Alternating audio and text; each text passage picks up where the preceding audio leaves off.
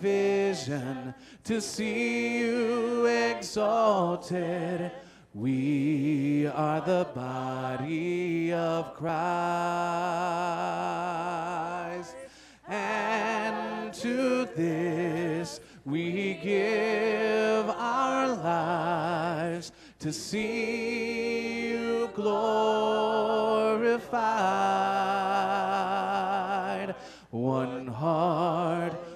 One spirit, one voice to praise you. We are the body of Christ. One heart, one spirit, one voice to praise you. We are the body of Christ. One goal, one vision to see you exalted. We are the body of Christ. And to this we give our lives to see you glorified.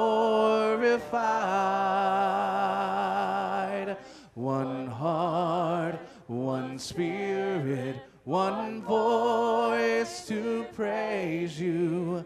We are the body of Christ. We are the body of Christ. Please be seated.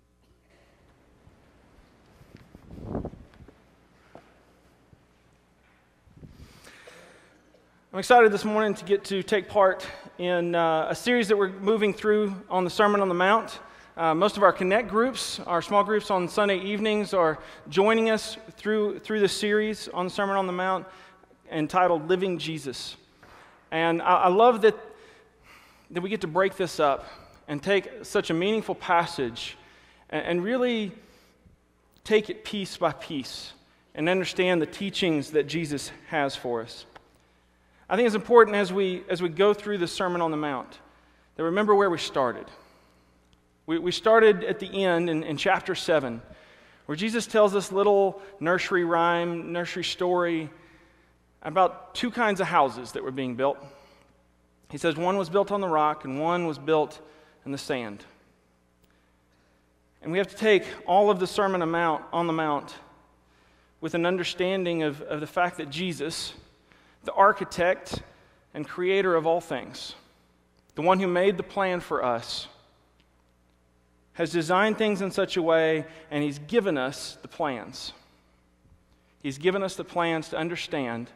And he says, You can either build your house on the rock, where it stands firm no matter what storms are going to happen, or you can build your house on the sand, and you can let it all come to nothing. I think it's important that we, we take that perspective as we dive into each of these individual lessons on the Sermon on the Mount. So before I start this morning, I, I want to start off with a prayer. A prayer that I hope we can be hearers and practicers, practicers of the Word of God, the words that He gave us. That we can hear these words and not just hear them because it's Sunday morning but we can take them this week and practice. So let's pray. God, I thank you for this opportunity. God, I pray that you will strengthen me to say the things that you've put on my heart. God, I thank you for, for preparing me this week. I thank you for the great process that you always bring me through before I get to preach. God, I pray this morning that as we hear your word, as we, as we take it into our hearts, God, as we, as we, we, we discuss this lesson, God, that we don't see that as an end. We don't see the knowledge of your word as the end, God, but we see practicing it and doing it and living it as the end, God, that you've intended for us. God, I pray this morning you'll open our hearts to that so that we'll be able to live a life that's built on a rock. God, we thank you for Jesus. We thank you for his teachings. It's in your son's name we pray. Amen. I was watching the game last night, and I was I started to get a little scared that, that Brett has some sort of um, extra ability to know the score. You know, I was, when I heard which lesson I was going to be doing this week when he was in Rwanda, I thought, wow, enemies, that's kind of a touchy subject. In the last couple, uh, I guess up until the last couple minutes of the game last night, I was worried I was going to have a lot of angry people with lots of enemies. Um, luckily, that, that turned out okay, and I don't have to ask forgiveness from Brett for, for him, creating him as my enemy this morning. You know, the truth is, we love rivalries, don't we? We, we, we tend to come up, the, up with them very quickly. Rivalries are a part of every story. You have to have the, the antagonist in the story, and, and, and we love our rivalries. I've got, a, I've got a few examples here I want to show you um, from childhood that we come up with. Can I get y'all to go to the next slide for me? And the next one. There we go. We're going to run through these a little quick. You know, as you're a kid, it's always boys versus girls in everything. So we start from an early age with this understanding of, of boy versus girls, but, but then we even grow up into it, don't we?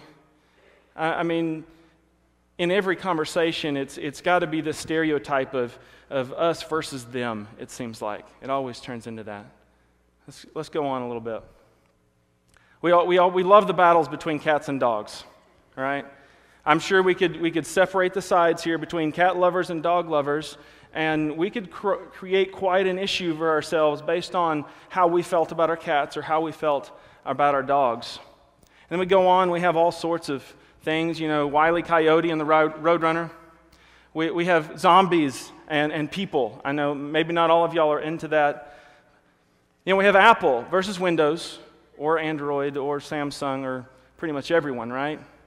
There's, there's always something in competition. Uh oh, I'm, I'm going there, right? Um, we like to create this competition. And sure, I, I love our democratic system, but don't we tend to make it bigger than just the democracy of having different sides? Or the things that really matter to us, our football. You know, it's not just enough to have your favorite team. You have to have the team you're against, the team you hate. You know, last night's game was big, not just because it was another football game, not just because it was, you know, it, it, it mattered a lot, but it was big because, you know, Alabama fans don't really like LSU fans all that much, right? We tend to worry about things quite a bit because we all love all rivalries. So, so the question this morning in, then is who is your enemy?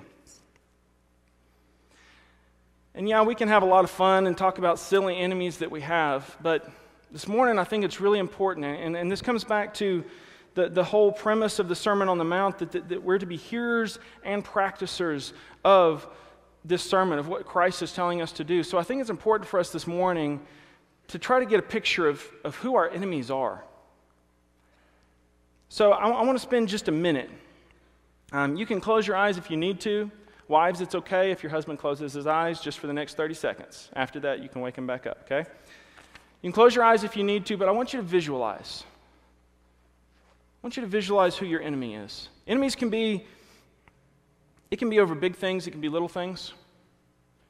You know, I think the first thing, as I'm reading this pa- passage, we, we start thinking of the, the big enemies. We, we start thinking about that, that boss, maybe, that won't give us the promotion or the, the boss that works us too hard. Maybe we think about coworkers that don't pull their weight and always seem to get by with our efforts. Maybe it's our arch rival. Maybe it's still that high school somebody that you didn't get along with that you still can't stand.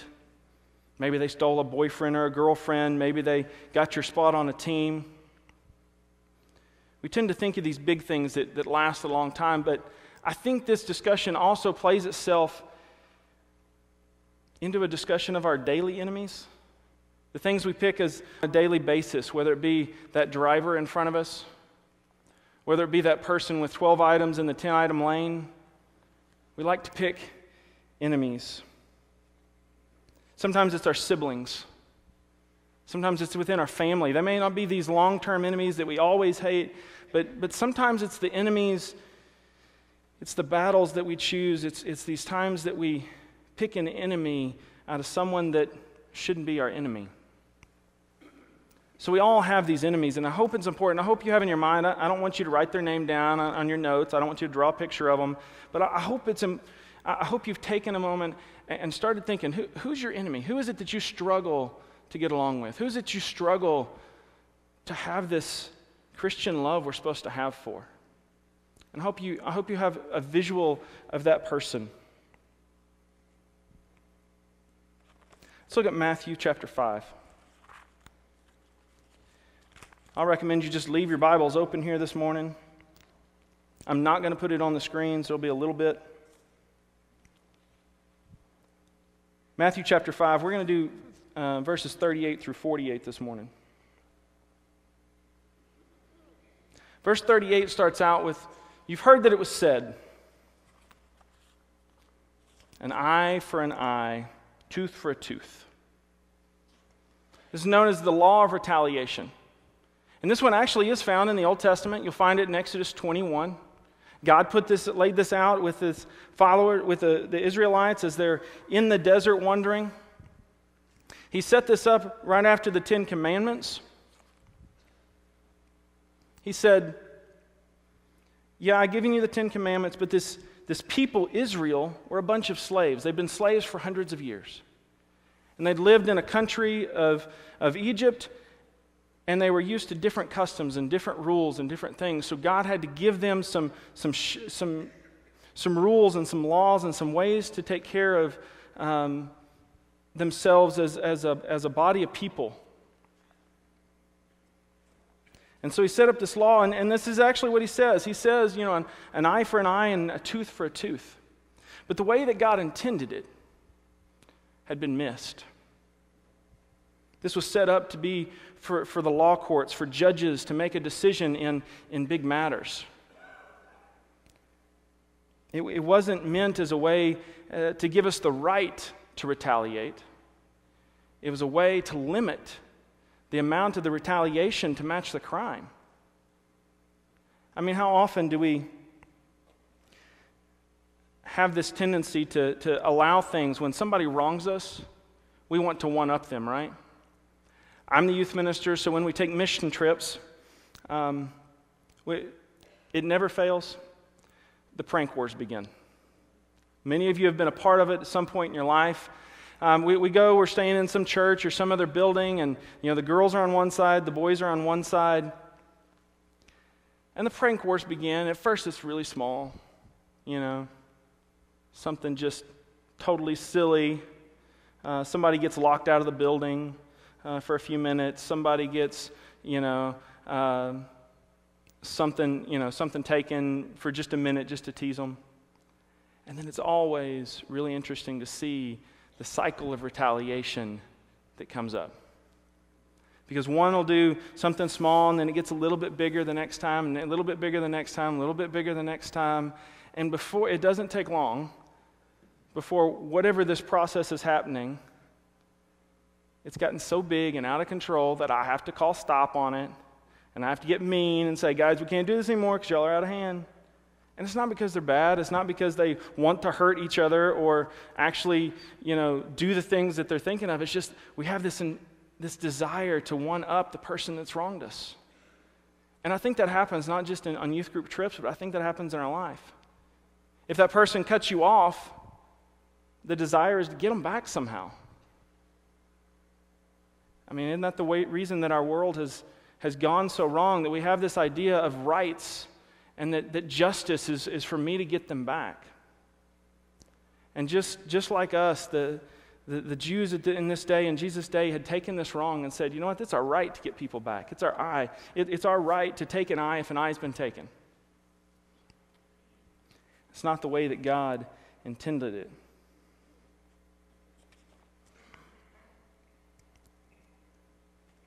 So we, we look at what Jesus has to, in response to this. He's not getting rid of this law, but he's going to take it a step better. Jesus is going to show them that they've missed the original intent. So we look at verse 39. He says, But I tell you, do not resist an evil person. Now, that's the NIV translation. One time, I'm not a big fan of the NIV translation. He says, Do not resist an evil person. But God says all throughout Scripture that we're, we're to resist evil, that the evil things in this world are not supposed to be what we're about. And so I think this translation is, is a difficult one. If you take the, the words literally, and I didn't do this, but if you take the words and, and you actually translate word for word, it actually says, Don't retaliate vengefully by doing evil. Don't retaliate vengefully by doing evil. We should resist evil.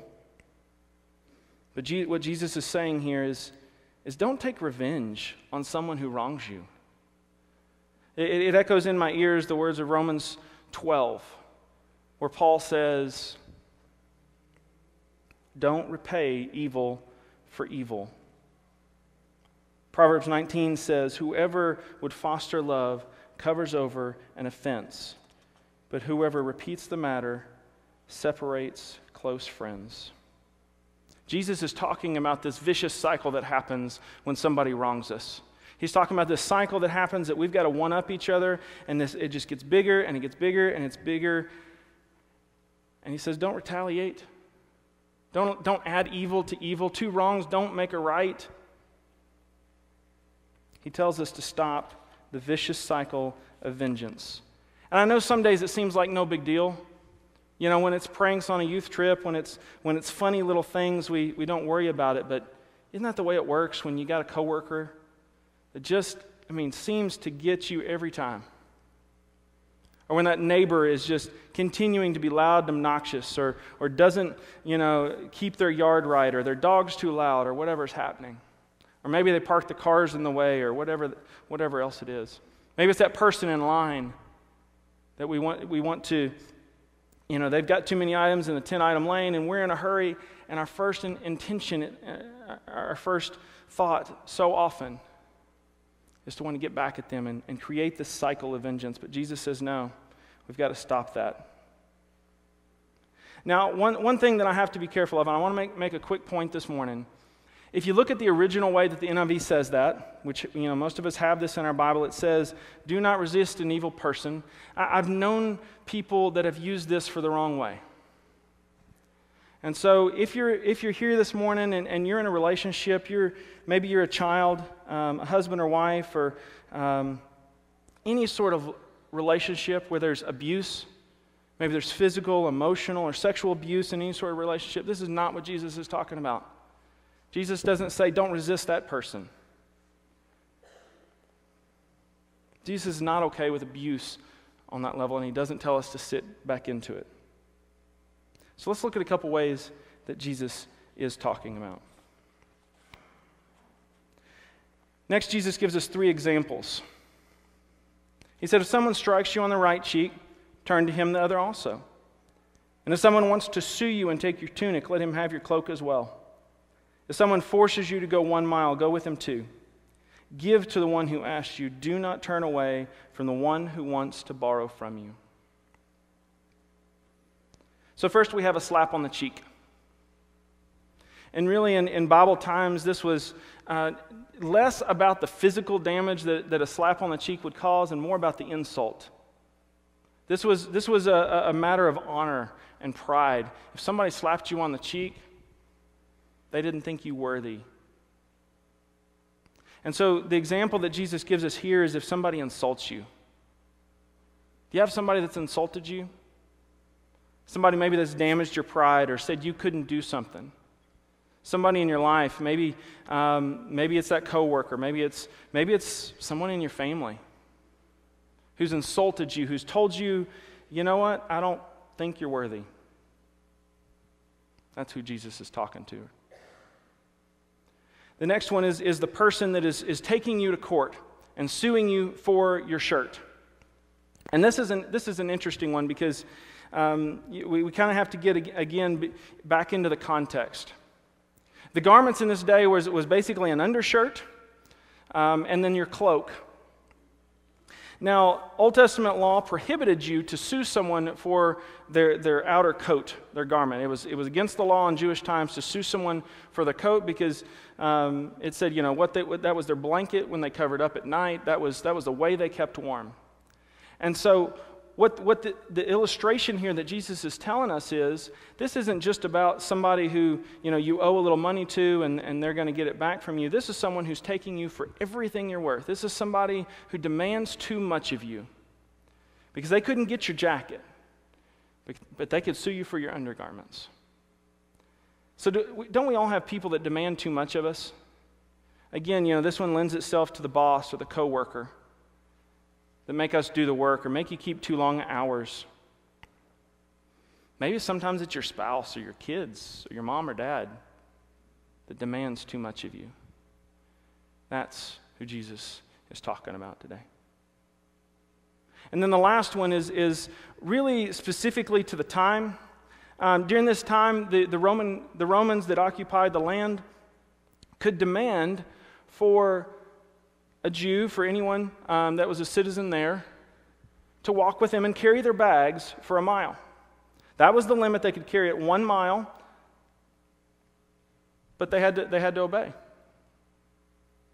Now, we don't have people that, you know, walking down the street say, hey, carry my bag, and, and you have to do it for a mile. It's not quite the same situation. But the point was, this was an unfair treatment of the Jews. This was an unfair treatment of, of people and, and don't we have a similar system here? Where if people can demand something of you, if they can treat you unfairly, it's going to happen. And again, this, this goes for the big things. This goes for that, you know, that, that job at work, that guy that does the same job and makes a little more. Maybe it's that person that, that thinks they're, you know, in a bigger hurry than you or whatever, so they cut in line or, or they get in front of you. But there's people around us that treat us unfairly, and this is the kind of people that Jesus is talking about. But I want you to look down at the verse. I want you to look at the words that Jesus says for us. In these situations, he says, turn to him. He says, let him, let him have also your cloak. He says, go with him more. Jesus doesn't say, you know, make it fair. He doesn't say you have a right and you're being abused. All these terms are, are, are relational terms. It says it's not about us, it's about that other person. And that's hard when they're enemies. I love the way the message translated it says, live generously. In each of these situations, when someone insults you, when someone demands too much, when somebody is, is unfairly treating you, do we know how to live generously? To live so that whatever we do, our every response to, to our enemies, to the things that happen wrong in our lives, that we're seen as generous? Glen Stassen said it this way Jesus is calling us to surprising initiatives, to creative and preventative measures that can break up the hatred and distrust and move on to justice. Jesus gave us three examples there, and then he comes on, I, I think, the same subject. I don't think Jesus added the love for enemies title between these because I think it's the same conversation. He says, You've heard it was said, love your neighbor and hate your enemy. Now, you can search all day, you're not going to find an exact quote for that. The love your neighbor is obviously in there, but the hate your neighbor isn't. But it was, during this day, an, an acceptable ethical practice. You know, it's, it's normal for them to say, you know what, if, if, if somebody's treating you right, you can love them. They're your neighbor. But if they're not, you know, Lord help them, right? And I, I think we have the same practice today. It's so easy to be nice to the people that are around us that, that treat us well. You know, we, we, we know the story where God starts defining who our neighbors are. And I think this plays into that discussion that that Jesus says our job is to love everybody. Love is for everyone. It's not just for some special chosen people, not just to the people that are nice to us, but it's for everybody. See, we take what, what is you versus them, And we, and we tend to vilify everyone, don't we? And, and turn it into you versus them. We tend to make it, you know, we're always in the right. We did everything right. We just, you know, we just don't understand what happened in the situation, that it went so wrong. And we just totally vilify them. It doesn't matter who it is. If you're ever vilified like your, your, your friend, someone who's a close friend, maybe it's a sibling who you love, you live with every day, and, and all of a sudden, instead of them making a mistake, you know, they, they, are, they are evil because they stole the last cookie. You know, it, it's, it's that sort of um, exaggeration that we put on things when someone becomes our enemy, when they become our villain. We start to visualize them, I think, almost with, with horns and a tail because we've got to be right. And that makes them very wrong. And we draw this line and we cause this separation. And we see everything is, is us versus them.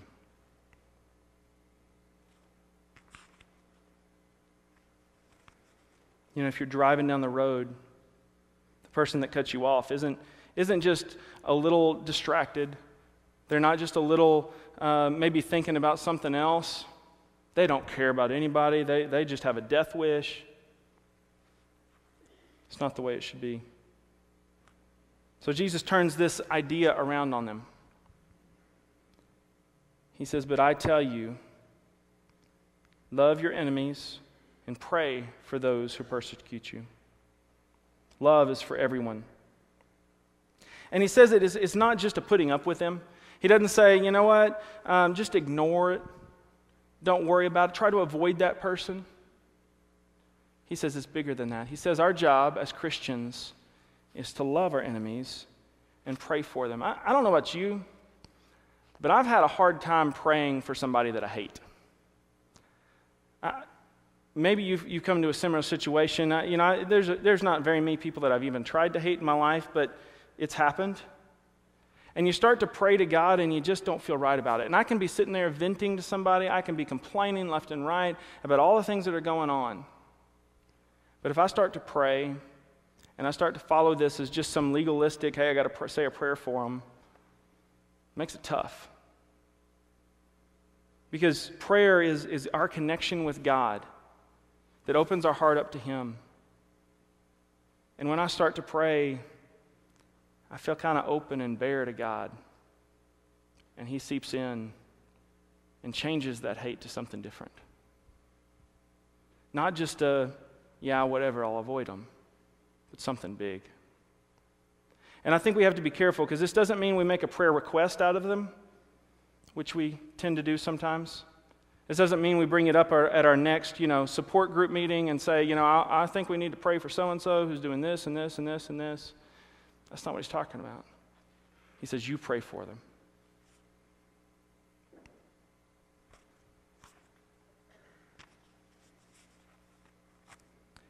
What he's really saying in this passage, and, and again, the message translates it that your enemies should bring out your best. Shouldn't they? This isn't what the world tells us to do. But Jesus is saying, your enemies, those people that, that are difficult to love, they should bring out your best. That's what the prayer is for. If a holy and completely perfect God can look down on everyone on this world the righteous, the unrighteous, the holy, the unholy, everyone, and He can love them. He can send the rain, like it says in 46 and 7. He can send the rain. He can, he can provide and take care of the righteous and the unrighteous. He loves us all the same. Then can't we, who aren't holy and perfect, can't we see beyond that? And then he jumps to verse 48. And again, I, I think we have some some interesting translation here. Because the Sermon on the Mount is, is not about perfection. We, we, we said that this is something that we can live up to. We can attain what Jesus calls us to in the Sermon on the Mount.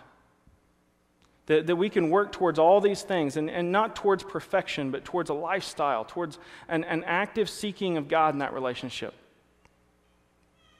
So, what he's, the, the word he uses here that, that is translated perfect in our NIV can, can actually better be pr- probably translated as wholeness or completeness. That God, in this situation with our enemies, doesn't, doesn't expect us to, be perfect all the time, but He expects us to understand His complete love. That 46 and 46, verses 46 and 7 say that we should, that because God can send the rain on the righteous and the unrighteous, the holy and the unholy, that's perfect love. That's complete love. Not just loving the people that love us, but complete love loves our enemies as well.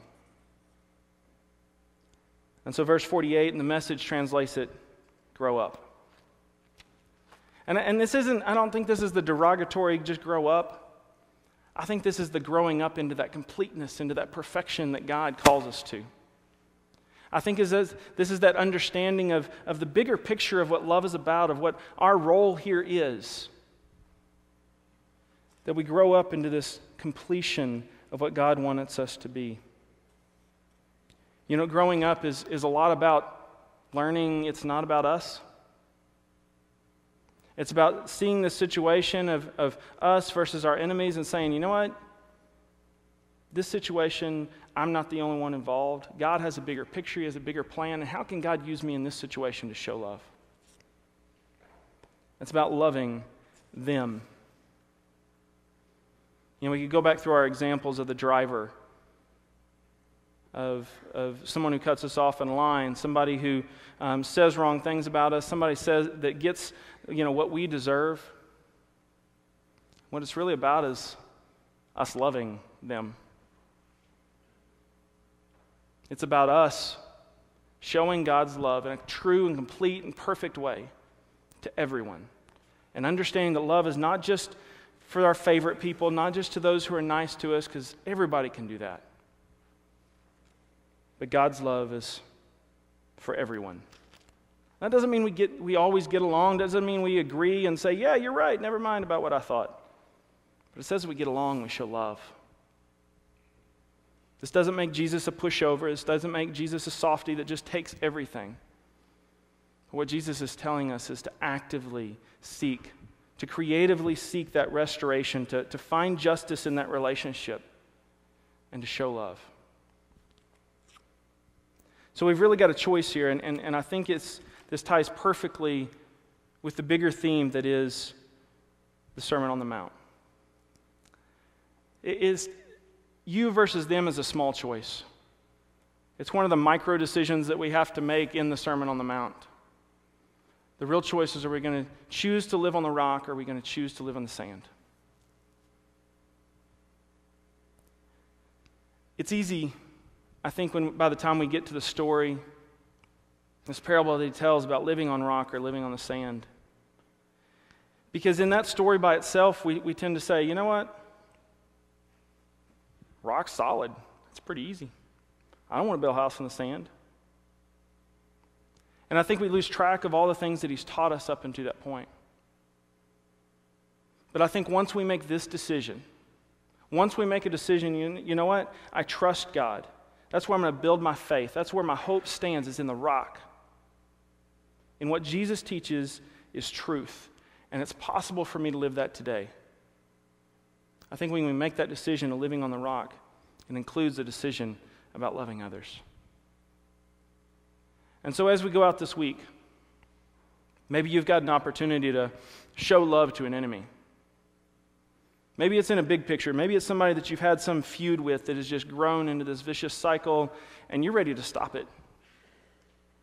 Maybe it's, maybe it's more of the daily decision that you have to make to not be on edge and not to allow every little thing that happens between you and your spouse or your kids or the person at the store turn into a vicious cycle, but to actively seek to show them the love of God. Because what Jesus is really teaching us in this is to live on the rock. He's teaching us that life on the rock is better. Life on the rock is the way He intended things to be. And I hope we can walk out of here this week with an understanding of how to live on the rock when our enemies come. If you've got a, something we need to pray about this morning, Maybe something uh, this morning, maybe you've got an enemy that you need, to, you, need, you need prayer so that you can make sure that you are the love and, and, and the example, the salt and light that Jesus calls you to be in that relationship. Maybe you're just hurting. Maybe, this it's not about this lesson this morning. Maybe it's just something that's on your heart that you need prayers over. Maybe this morning you'd like to decide to give your life to Christ, to decide, you know what, my faith has been in something that just is, is fading away like the sand, but this morning I want to I want to put my life on a rock. I hope this morning you should take an opportunity. I'm gonna we'll be down front. We'll have some of our shepherds down front. If it's something more private, you'd be more comfortable back here in uh, the 113. I believe it's 113 still. Uh, we're going to have some shepherds uh, there ready for you to pray with. I hope this morning, as you're trying to decide this, am I living on the rock or am I living on the sand? I hope this morning you come and ask for prayers as we stand and sing. Love one another, for love is of God. He who loves is born of God and knows God. He who does not love does not know God, for God is love. God is love. Love.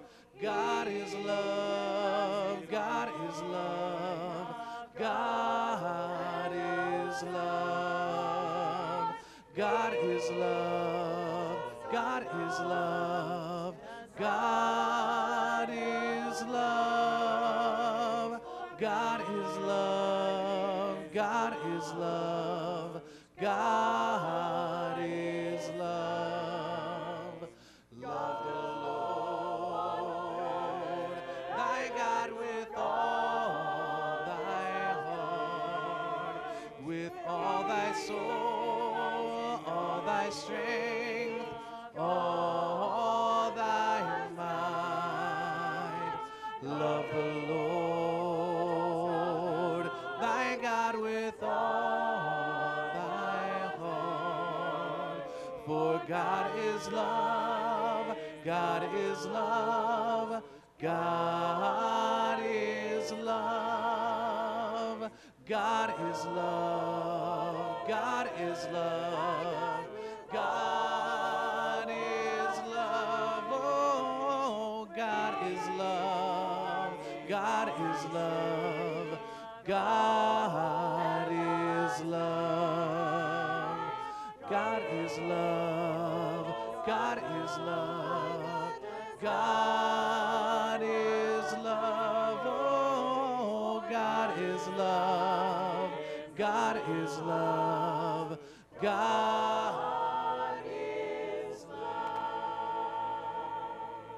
Please be seated.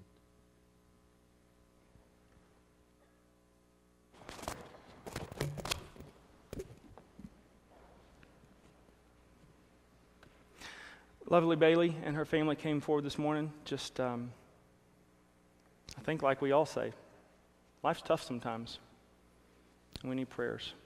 And I want, I want everyone to know that this place is a place that believes in prayer. So maybe, maybe you hadn't had a chance to come down this morning. Maybe it felt a little awkward to you.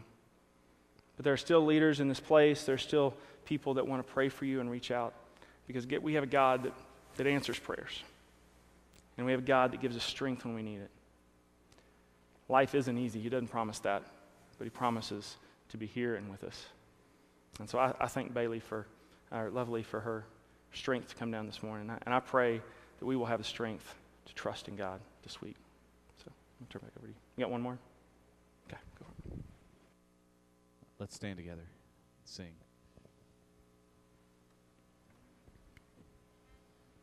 Blessed Jesus, come to me, soothe my soul with rays of peace. As I look to you